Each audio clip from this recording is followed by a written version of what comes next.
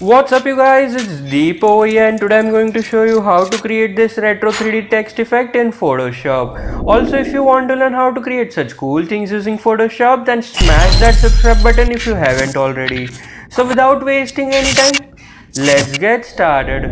So the first step we need to do is create a new document. So for that go to file and then select option new. After that set the width as 1280 pixels, height as 720 pixels and resolution as 72 pixels per inch and then click on OK. After that we need to fill this document with a nice color so for that click on create new fill or adjustment layer icon and then select option solid color. After that set any color of your choice which will be the background of our text. I am setting it as DECC85 and then click on OK. After that create a new layer by clicking on create new layer icon and then select brush tool. Set brush as soft round and then set the foreground color as white and then increase the size of the brush as this much. You can increase and decrease the size of the brush using the square bracket keys of your keyboard and then using the brush click on the document. So as you can see one white spot has been created. After that decrease the opacity of this layer to 30%. So as you can see this gives such a nice gradient look over here. Let me just show you before and after by clicking on this icon. So this is the after and this is the before. Now after that we need to type in the text. So for that select horizontal type tool and then select any font of your choice. Download link for the font I am using is in the description below. Also if you don't know how to install font in Photoshop the link for that is in the description as well. After that set any appropriate size for the font. I am setting it as 450 point and then set the foreground color as black or any color of your choice and then click on the document and then type in your text. After that click on the stick icon to place it. Now we need to place this text at the center of the document so for that press ctrl and click on this background layer which will keep the selection of the text layer and give you the selection of this background layer. After that select move tool and then click on align vertical centers. After that click on align horizontal centers. So as you can see now the text has been placed at the center of the document. After that make the text layer active by clicking on it. Now we need to fill this text with a nice gradient color. So for that click on add layer style option and then select option blending options. After that select the gradient overlay option and then set the blend mode as normal, opacity as 100%. After that click on this gradient icon besides the drop down. After that set the gradient as foreground to background and then double click on this left bottom color stop which will let you choose any color of your choice. After that set any color. I am setting it as 196732 and then click on OK. After that double click on this right bottom color stop and then set any color of your choice. I am setting it as ABFFBB and then click on OK. After that click on OK. After that set the style as linear, angle as 90 degree and scale as 100% and then click on OK. Now after that let's convert this text into a smart object so that we can edit it afterwards non-destructively. So for that right click on the text layer and then select option convert to smart object. Now after that let's apply some stroke and give some shadows over here to make this text look more proper. So for that click on add layer style option and then select option blending options. After that select the stroke option and then set the size of the stroke as 7 pixels. Set the position as inside, blend mode as normal, opacity as 100% and color as white. After that let's apply some shadows to give some depth effect over here so for that click on inner shadow and then set the blend mode as linear burn, color as black, opacity as 50%, set the angle as 120 degree and then untick this use global light option, set the distance as 15 pixels and then set the size as 25 pixels. So as you can see by adding some shadows it is giving such a nice depth effect over here. Now let's add some more shadows in order to make it look more proper. So for that click on inner glow option and then set the blend mode as linear burn Set the opacity to 15%, set the color as black and then set the size to 20 pixels. Now let me just show you the before and after of the overall style effect by clicking on this preview checkbox. So this is the before and this is the after. Looks so nice right? After that click on OK. Now we need to give a horizontal lines pattern inside of the text. So for that we will have to create one pattern. So for that click on file and then select option new. After that set the width as 3 pixels, height as 6 pixels and resolution as 72 pixels per inch and then click on OK. After that press Ctrl plus plus key of your keyboard to zoom into the document. So this is the maximum I can zoom into the document. After that select rectangular marquee tool after that press shift and then drag from top corner as follows. By pressing shift it will give you selection in the form of a square. So as it is in the form of a square only half of the document will be selected. After that right click inside of the selection and then select option fill. After that set the use as black and then click on OK. After that press Ctrl plus D to deselect the selection. Now we need to save this thing as a pattern so for that click on edit and then select option define pattern. After that give any name of your choice and then click on OK.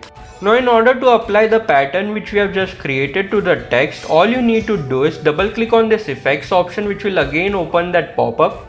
Now after that select the pattern overlay option and then click on this drop down in order to select the pattern. After that over here you will find the pattern which you have just now created. So now in order to select that pattern double click on it. After that set the blend mode of this pattern to multiply and then reduce its opacity to 10% and then click on OK. So as you can see it is giving such a nice retro look to the text by applying this pattern. Now after that let's start with the creation of our 3D text. So for that create a duplicate of this text layer by pressing Ctrl plus J. After that bring the duplicate text layer below the original text layer. After that right click on the duplicate text layer and then select option clear layer style. After that rename that layer as 3D depth. Now after that let's turn off our original text layer by clicking on the icon now we need to give some layer styles to this 3D depth text layer over here as well. So for that click on add layer style option and then select option blending options. After that click on this bevel and emboss and then click on this reset to defaults which will apply the default settings over here. After that click on color overlay and now over here set the color which you would like to see as the depth of the 3D text. I am setting it as 6C9575 and then click on OK. After that click on OK. Now in order to create the depth of the 3D text all you need to do is follow these three steps. So the first step you need to do is create a duplicate of this text layer by pressing Ctrl plus J. After that select move tool and then click on this left arrow key of your keyboard and then click on this top arrow key of your keyboard. Now we need to repeat these three steps 28 more times in order to get the perfect depth of the text Sounds tiresome, right? Don't worry, we will automate these three steps. So for that, go to Windows and then select option actions. After that, click on create new action icon and then give any name of your choice and then click on record. Now after that, perform the three steps one more time. Create a duplicate, left arrow key and then top arrow key. Now once the three steps have been performed, after that click on this stop icon to stop recording. So now as you can see Actions has recorded these three steps. Now if you want to perform these three steps again, all you need to do is click on this depth over here and then click on this play button. So now as you can see Photoshop performed those three steps for you. Now keep clicking on this play button until you reach a count of 30. So now as you can see we have now got a nice depth for the 3D text. Now let's merge all the 30 3D depth text layer into a single group. So for that make the top 3D depth text layer active by clicking on it and then go to the bottom. After that press shift and then click on this bottom 3D depth text layer which will give you the selection of the two layers as well as selection of all the layers in between. After that press Ctrl plus G to merge all the layers into a single group. Now let's rename that group as depth. Now we need to add some shadows over here as well. So for that expand the depth group and then double click on the effects tab of the top layer and then select the drop shadow option. After that set the blend mode as soft light, color as black, opacity as 80%, untick this use global light option and then set the angle as 135 degree. After that set the distance as 15 pixels and then set the size as 25 pixels. To show you the before and after of this drop shadow effect, clicking on this drop shadow checkbox. So this is the before and then this is the after. After that click on OK. Now after that minimize the group and now we need to place this depth group at the center of the document so let me just place it. After that make the retro text layer active by clicking on it and then unhide it by clicking on the icon. After that using move tool let's place it properly above the depth group.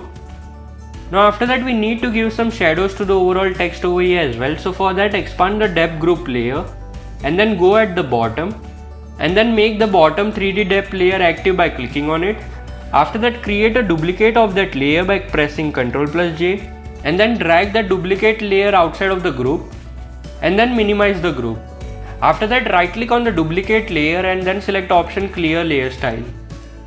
After that let's rename this layer as shadows. Now after that click on add layer style option and then select option blending options. After that click on color overlay and then set the blend mode as normal and then set the color which you would like to give to the shadows over here. Any dark color will work fine. After that click on OK and then click on OK. After that go to filter and then blur and then select option motion blur.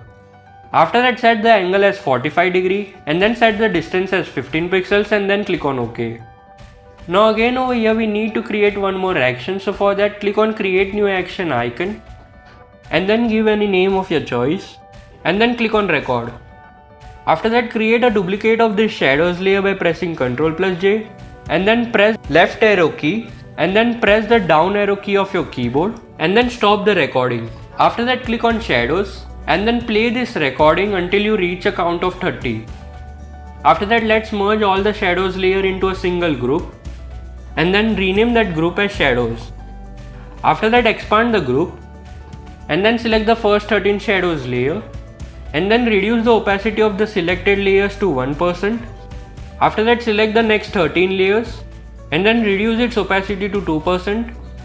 After that select the rest of the layers and then reduce the opacity of those layers to 3%.